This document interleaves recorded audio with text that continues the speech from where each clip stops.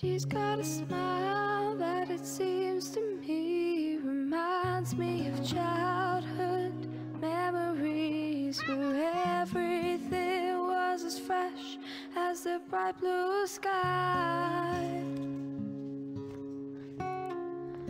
Now and then when I see her face, she takes me away to that special place. And if I long, I'd probably break down and cry. Oh, sweet child mine. Here we are, nuzzle and scratch. Since 2000, speeding has killed a classroom of our children.